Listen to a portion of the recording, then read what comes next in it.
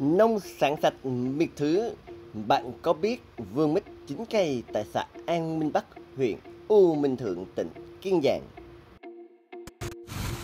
U Minh Thượng là một huyện thuộc tỉnh Kiên Giang được thành lập vào ngày 10 tháng 5 năm 2007 nằm ở phía Tây Nam. Về lịch sử hình thành của vùng U Minh Thượng thì trước đây vùng này gồm ba huyện An Minh, An Biên và Vĩnh Thuận. Và đây cũng là ba huyện nằm trong vùng miệt thứ đó là căn cứ cách mạng trong thời kỳ chống Pháp, chống Mỹ và có lúc là căn cứ của nghĩa quân anh hùng dân tộc Nguyễn Trung Trực.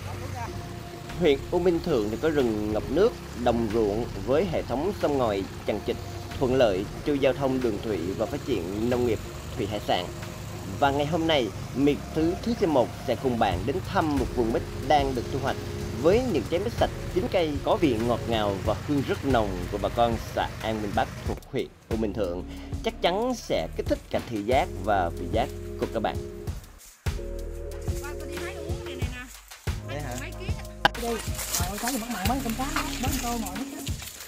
Cái vườn này của mình là trồng 2 năm rồi hả chị? 2 năm rồi. 2, 2 năm là mình mua giống ở đâu chị? Tháng năm này là 2 năm rồi. Tháng năm này là 2 năm mình mua giống ở Tiền Giang hả? Mít Thái hả? Mít này mít Thái phải không? Tận gốc Bến Tre rồi cái này mua ở Tiền Giang là mua cái gì? À, cái mơn Bến mà cái cái mơn Tiền Giang nữa hả? Còn cái mơn Tiền Giang hay cái mơn Bến Tre? Nó mấy ông nói Bến Tre cái chị cũng đi nữa đó, nó Bến Tre. Vậy hả? Nè trái này chín nè. Chưa. Chưa chín hả?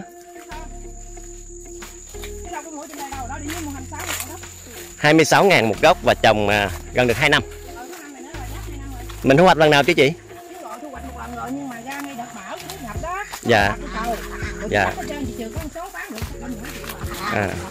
một Nhưng mình có bón phân gì không chị hay là tự nhiên?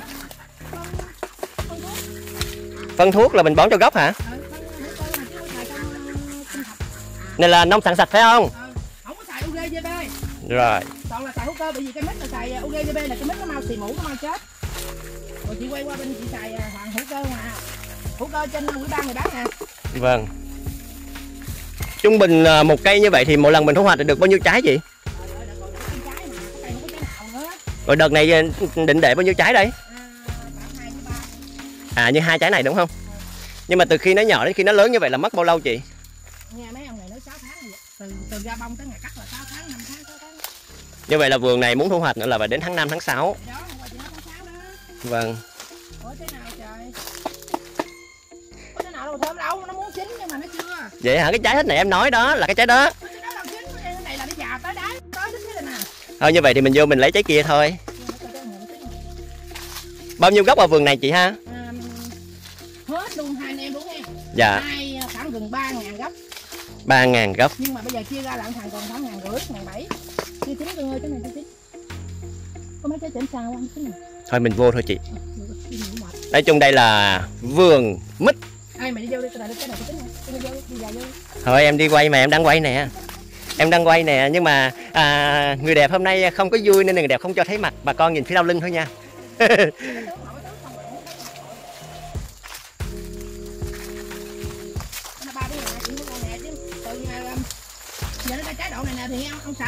tháng sáu thu hoạch đó Tháng 6 thu hoạch. Nhưng mà ở đây nó ra nhiều trái nhưng mình phải cắt bớt đúng không? À mình tỉa hết. Ở trong ẩm thực chay á nó có mấy cái món mà người ta người ta làm từ mít non đó chị. Chín cây. Nhưng mà trái này bự quá không? Trái đây vừa hả? Vậy trái nào ngon? Chị cắt cho em trái nào ngon? Trái này phải không? Rồi quyết định trái này. Vâng.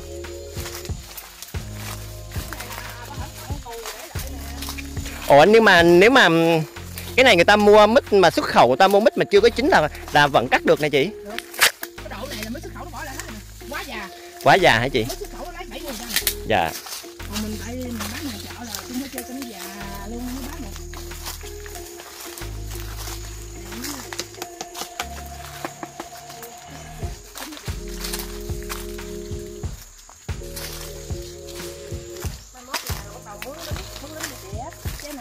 Chị mướn em đi, em vô em tỉa cho chị, em chỉ cần mít ăn thôi được không?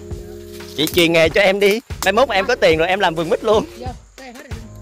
Ok. Còn bao lâu nữa mới tới được? Đi bao xa nữa? Khoảng 800 thước nữa đó. 800 thước được cái vườn này là bao bao nhiêu cây chị? Bao bao nhiêu gốc mít? Ba ngàn gốc đó. 3.000 gốc nha bà con. Nặng rồi chia tay chúng ta đi vô. Chị ơi ao này mình có nuôi gì không chị? Nuôi cá đủ loại rồi khi nào mình thu hoạch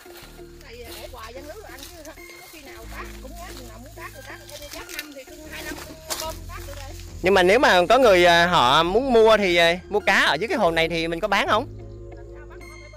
Thì mình bơm ra. Bán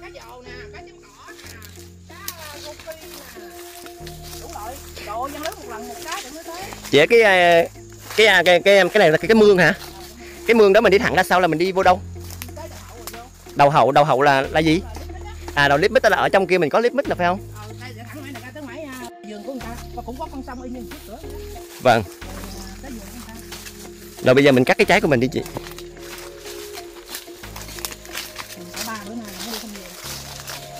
Không có nhớ không? Nhớ không? Chứ. nhớ giường luôn hả? Trời ngày nào chị cũng đi chân Đợi mít cái chín không ai á. Ồ. Ừ, đừng quay mặt nha. Đúng rồi đâu có quay mặt đâu. Quay mặt quay tránh này quay né mặt luôn á quay né mặt luôn á. Không có lộ diện luôn đó. Trời ơi chị ơi chị cầm cái mút thấy cưng quá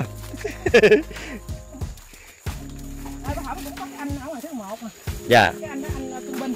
Dạ. Cái một giờ giả giờ thiệt. Dạ. Với bà chị Mà ảnh anh bằng ở thành phố Bà chị ở dưới này. Dạ. Ở gần cái căn Lê Cun dạ. Cũng vô đây cũng quay quay quay. Dạ. Rồi ảnh nhưng mà em miệt thứ thứ một quay là bán nguyên giường nha. Bán được đi bà con ai cần bán gì ai đang trồng gì cần bán gì đến độ thu hoạch hãy liên lạc với miệt thứ thứ 11 chúng tôi sẽ hỗ trợ như cưng có lên Ủa sao sao bắt mà không thấy kênh của cưng dạ có chứ để lát anh chị em chị cho để chị chưa có tìm á. Vậy hả? Để lát em hướng dẫn cho chị. Biết là chị thấy biết là cái tên của cái anh chàng anh chàng gì mà ưa đi quay ẩm thực. Dạ. Miệt thứ mình chuẩn bị có chuyên mục ẩm thực đó chị. Ẩm thực nói về những cái món ăn của miệt thứ thứ 11 do một cái bạn trẻ tên là trọng nguyện sẽ là cái nhân vật sẽ thực hiện cùng với miệt thứ thứ 11 trong vòng một năm. Nhớ đón xem nha nhiều món hấp dẫn lắm ôi chị ơi ở đây em thấy có ờ, cái này là bưởi hay cam cam sành. Cam sành là mình trồng xen kẽ.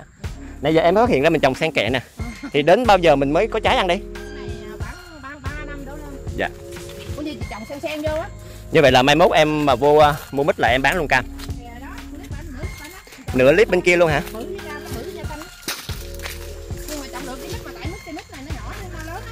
Bự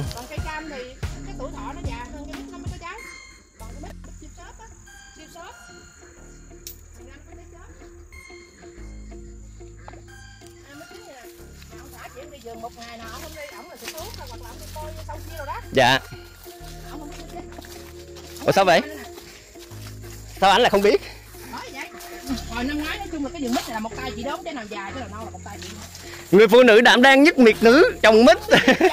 dạ Thậm chí chị đốn miếng cũng còn em đó. dạ Đốn khi đốn giùm nó cho tiền bé chị đi hả? dạ Anh nói chung là ở đây không ai biết đốn mít. Bởi vì người ta đâu có trồng hết đâu. dạ Trồng rừng chuối không hả? Là nhưng mà nó phải có sao ta bí quyết chứ thì.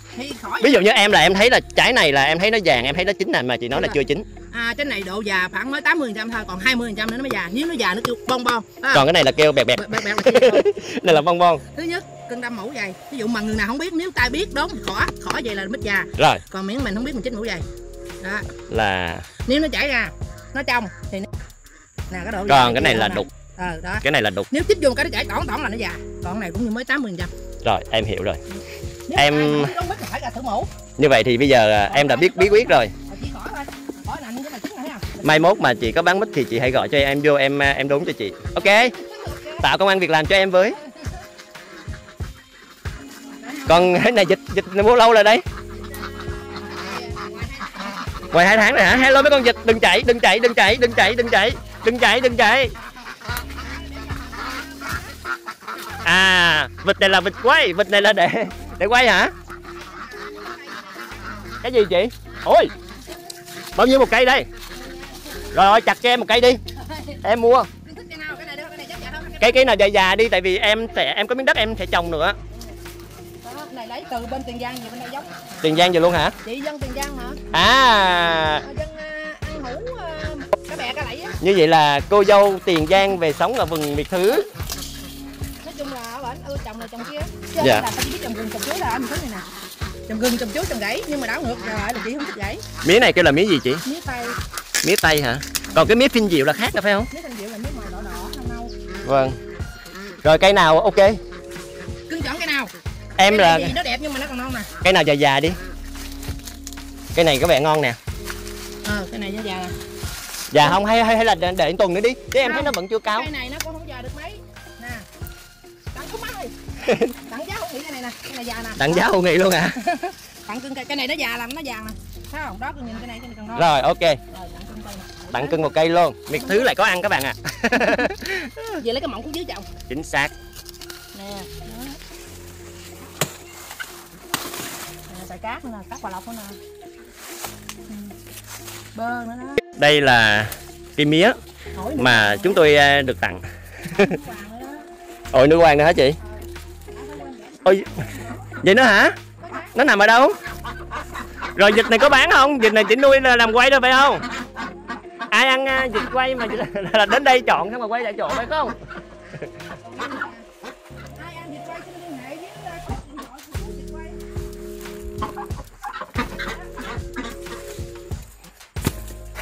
Đâu là chị đi đâu vậy? Đi rồi ổi hả? Ổi nữ quan hả? Có không có không? Có cặp già hả? Mang từ tiền giang về đây rồi chưa? Rồi ok.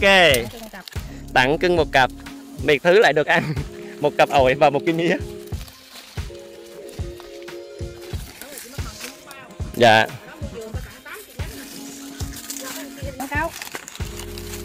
Nhưng mà em thấy chị trồng có một cây à?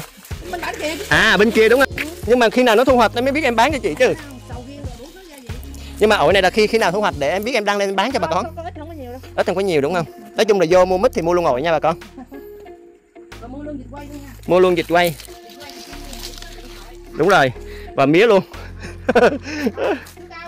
Chuối cao nữa hả? Ô cái quầy chuối này. Chín chưa? Mới già hả? Khi nào chín? Bao nhiêu đây? À. Đúng rồi bao nhiêu tiền đấy? Năm ngàn nãy đó chứ. 5 ngàn một nải cái này bao nhiêu nải em nghĩ chắc khoảng trăm ngàn. Ờ 10 nãy có 50 ngàn à. 10 nải 50 ngàn hả? Ờ cái đó chắc cỡ 10 nãy 12 nãy được chứ. Đó sao ta em cắt luôn không ta? Sao tôi chở hết cái vấn đề em không chờ hết. Thôi thứ hai thứ hai em vô nha. Thứ hai em vô em sẽ cắt cái quầy chuối này nè bà con.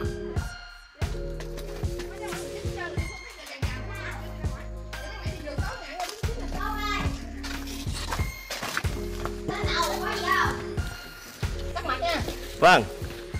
Nó đẹp. Chết mẹ ơi. Xe đen là gì rồi ok. Sơ đen hả? Sơ đen là rẻ hơn phải không? Đen này đen chỉ không có đen không ăn được ăn được không? Được ngon lắm.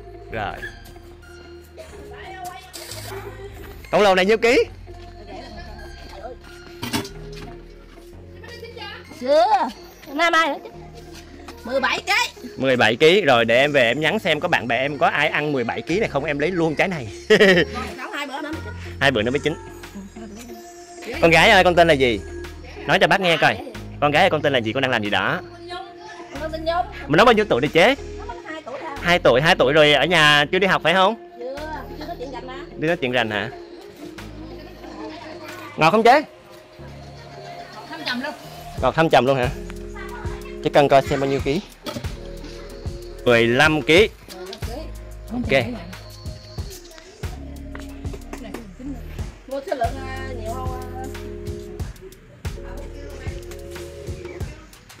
Một trái này chắc à, trên 10 kg. Và đã già rồi. già rồi nhưng mà cái này là dành cho mấy à, những cái người ở xa họ mua à, họ cắt trên xe họ về họ bán. Còn mình ăn ở đây thì phải ăn đây. Đúng không chị? Là nó đã đã chín rồi đúng không? Cái này thì mấy tháng rồi ta? Cái này Cái này có muối chưa ta? Có muối chưa? Chưa có muối. Mít non, mít non này thì à, rất là phù hợp để à, nấu những cái món chay và bán luôn nha bà con. Nếu bà con nào mà có nhu cầu mua số lượng lớn thì liên hệ với chúng tôi. Giá cả rất là mềm mỏng. Đây chỉ là những cái cây mít trồng ở trước nhà thôi. mít trường không cái này là mình hái lâu chưa chị mình cắt lâu chưa đi về đó. À lúc em đi về là mình cắt hả? Cắt vô mà cái này là bao lâu nữa để ăn được? Như vậy là những cái trái này mà những cái bạn mà bán hàng online hoặc những các bạn mà bán bán ký ở ngoài chợ hoặc những cái shop thì các bạn nên mua đúng không chị? À, tại gạn với trái dạ nó trúng cây ở ngoài chuột nó phép á. Đúng rồi em thấy một số những cái này bị khoét đúng không? Ờ chuột nó cắt nó không hay đó. Chứ nếu mà vừa già ấy là chứ đổi vô ngoài chứ không để ngoài giường rất là ngon luôn. em nó về dưới á. Vâng. Nó ở thì tại giờ không có thời gian chạy giường cái giường nó mà thấy mê luôn á khúc ngoài hậu á giường chung đây là nhưng mà khúc hậu á thứ hai em sẽ quay lại chị yên tâm. Hello mọi người đây là em. Em đang ờ, ở ờ, dương mít như mọi người thấy. Và đây là một miếng mít chín cây. Đây trái này đây. Em mới ờ, móc từ đây ra. Đó và bây giờ sẽ thử nha mọi người.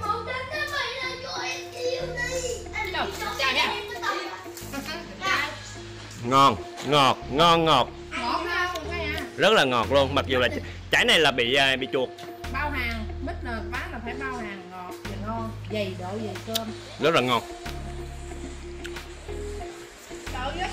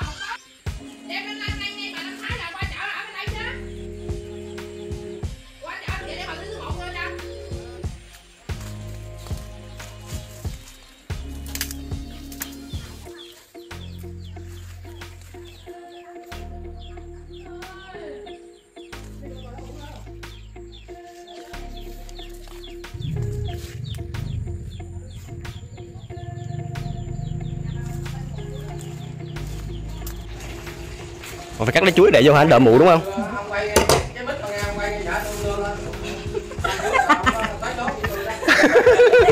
Chưa chưa. Rồi, ok ok đồng chí. Làm lố à. Trời chị chị chuyên nghiệp quá vậy. Cái dao nó không có chuyên nghiệp rồi kìa. Mua dao không thì thứ bán dao luôn nè. Có luôn à. Biệt thứ dạo này bán nhiều thứ lắm. Trái mít này là em cắt hôm qua đó. Mà em về đấy em không biết đấy em bỏ cho em cái bọc qua đêm biết nó bị thâm ở ngoài. Wow. Thâm cái da rồi. Cái này em đi em chợ sao nó bị rớt vậy chứ? Ừ, không có chuyên nghiệp chút nào hết chứ ngọt xớt luôn á. Mà mới thấy thì nó bán vậy phải không chị? nếu nếu mà nó giá nó tắt này đóng không mà cái này nó đứng lại không là cái này nó đứng gót mà nếu mà cái này nó gót đó là tắt này nó phải đứng lại. Nếu mà lộ mẹ nó quay hoài ông này nó gót nó quay thì chặt gót sao nó nghiên cứu nó- nó- nó- Vì nó gót cả lại. Để vậy em nói em nói đơn giản là một cái. Nó chín cây nó khác ha. Gót nó đồng kiểu thôi nó mà mà vậy thôi. Mà trong cái đó là hả? Không nó nó có cái rồi ra nó từ năm qua là nó cắt rồi. Ba quanh bảy đó. Trái này là 10 kg đó Sơ cũng không có nhiều chị ha.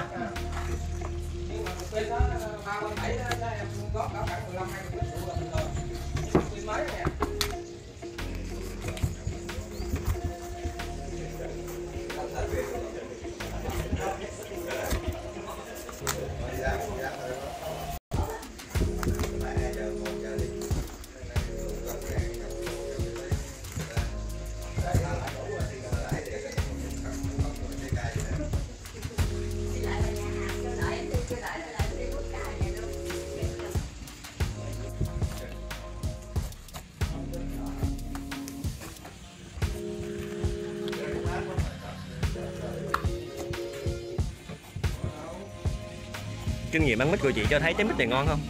ngon Ngon? Mít ăn bên Bắc nha mọi người